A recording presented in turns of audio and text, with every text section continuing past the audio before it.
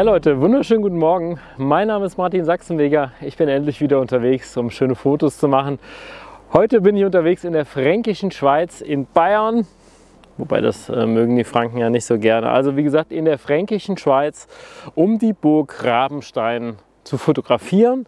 Und äh, es ist jetzt ein spontaner Trip heute, habe mein gesamtes Equipment dabei die Bedingungen sind so lala, aber wir versuchen natürlich trotzdem das Beste draus zu machen. Wenn man schon mal hier ist, dann sollte man das auch auf jeden Fall versuchen. Also heute fotografieren hier in der fränkischen Schweiz Burg Rabenstein zum Sonnenaufgang bei sehr windigen Bedingungen. Freut euch drauf.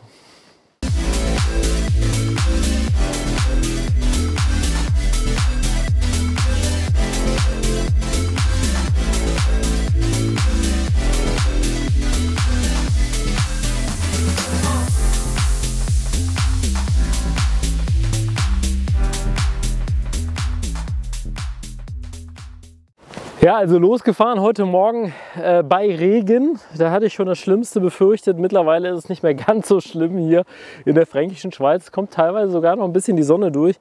Es ist super windig. Das heißt, äh, ja, ich werde heute auch mal eine ähm, schöne Langzeitbelichtung machen mit Wolkenziehern. Ähm, mein erhoffter Nebel hier im Tal der Burg ist leider nicht äh, eingetroffen, aber das Licht wird jetzt gerade trotzdem relativ schön. Und äh, ja, deswegen fange ich jetzt einfach an zu fotografieren. Also so, wir befinden uns jetzt hier an der Burg Rabenstein, oberhalb der Burg Rabenstein, beziehungsweise auf der gegenüberliegenden Seite. Hier ist so eine Aussichtsplattform. Ihr seht, hier habe ich mich breit gemacht. Und ähm, ja, um auf diese Aussichtsplattform hier zu kommen, müsst ihr von da unten, von dem Parkplatz, da steht auch mein Auto, äh, einmal hier die Straße entlang marschieren. Hier hinten geht es über so eine Brücke und dann geht es hier den Wald entlang. Hier hoch und dann kommt man hier irgendwann raus.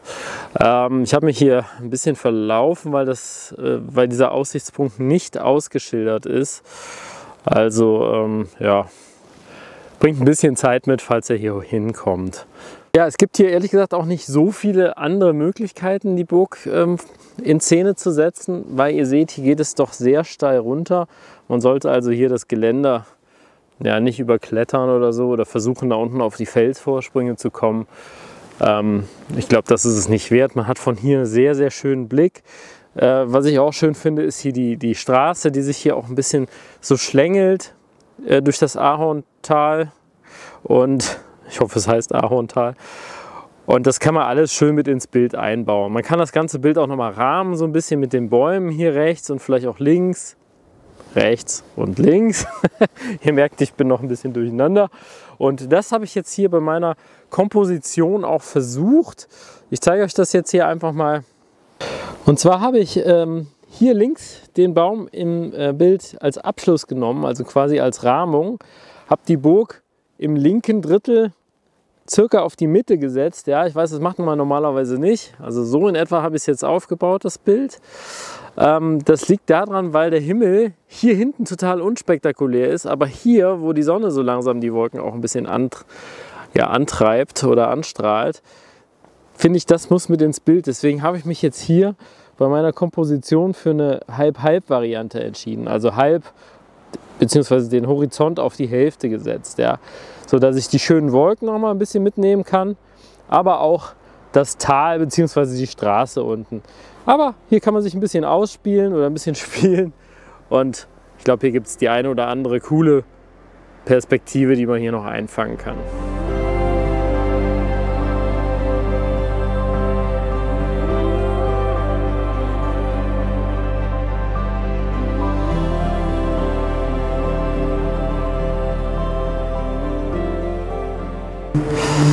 Ja, und weil die Wolken hier so unheimlich schnell ziehen am Himmel, habe ich mich jetzt dazu entschlossen, nochmal eine sehr, sehr lange Belichtungszeit zu machen.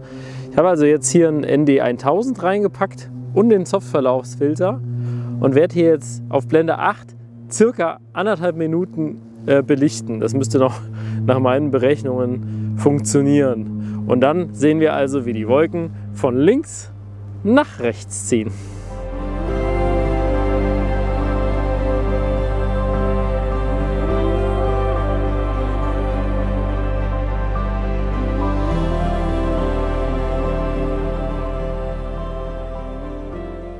Ja, die Langzeitbelichtung anderthalb Minuten hat gut geklappt. Ähm, vielleicht war es ein Tick zu lang, weil die Wolken eigentlich gar nicht mehr sichtbar sind. Und man muss natürlich sagen, dadurch, dass es so windig ist, sind hier die Bäume links und rechts sehr, sehr unscharf im Bild, also sehr, sehr stark verwackelt und das ist natürlich auch nicht schön. Also wenn Langzeitbelichtung, dann eher die totale, also in, in dem Bereich hier vielleicht und dann klappt das auch ganz gut. Da hinten ist ja sogar noch ein bisschen Nebel. Das wäre schön, wenn er jetzt auch noch hier vorne wäre.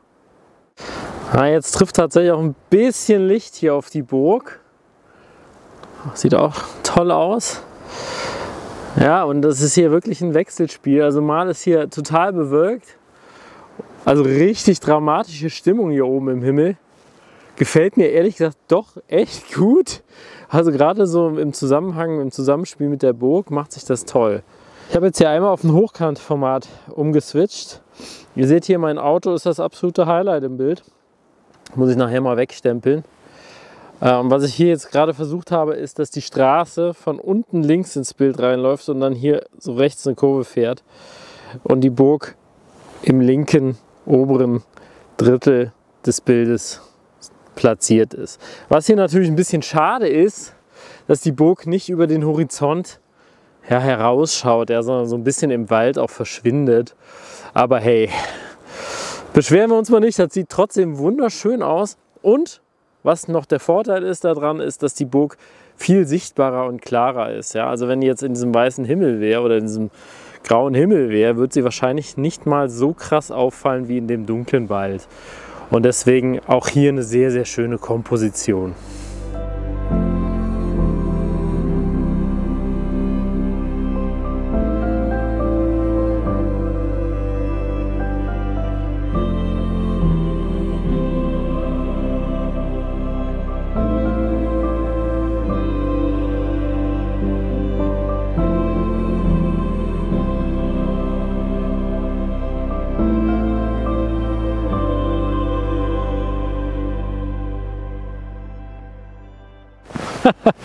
ja, und das war es eigentlich auch jetzt hier schon wieder, weil jetzt zieht es richtig zu hier. Ich war jetzt hier insgesamt eine halbe Stunde hier oben an dem Spot und äh, ich muss sagen, hat mir gut gefallen. Ich werde aber auf jeden Fall nochmal bei anderen äh, Bedingungen wieder hierher kommen. Ähm, da schwebt mir zum Beispiel vor Nebel im Tal, vielleicht im Herbst, Sonnenaufgang. Da schwebt mir aber auch vor, wenn vielleicht die Dächer oder die Bäume weiß sind, äh, im Winter das kann also auch sehr, sehr schön ausschauen. Jetzt im Januar hier sehr, sehr trostlos, Ende Januar. Sehr trostlos hier an der Burg. Aber hey, ich glaube, die Bilder sind trotzdem einigermaßen cool geworden. Und ähm, ja, ich war auch mal wieder draußen. Ist jetzt schon eine längere Zeit her, muss ich äh, zugeben, dass ich draußen war und fotografiert habe. Aktuell ist es einfach unglaublich schwierig äh, für mich da Zeitfenster äh, zu finden, zu fotografieren und natürlich auch Videos zu machen. Aber ich verspreche euch und mir, das äh, wird sich sicherlich im Laufe des Jahres wieder ändern, sodass ich auch wieder regelmäßig hier äh, meine Touren euch zeigen kann. Ja? Also Leute, ich danke euch ja, fürs Zuschauen heute. Hoffe, euch hat das keine äh, kleine, kurze Video gefallen. Wenn ja, dann drückt mir doch bitte den Daumen nach oben und ja, Falls ihr den Kanal noch nicht abonniert habt, dann abonniert auch gerne meinen Kanal. Meine besten Bilder, die sind nach wie vor zu finden auf Instagram unter Travel Meets Art. Schaut vorbei, lasst euch inspirieren, sagt Hallo. Ich freue mich auf jeden Fall drauf. Ja, also vielen Dank. Passt alle auf euch auf, bleibt vor allem gesund. Ich würde sagen, wir sehen uns bald wieder. Macht's gut. Ciao.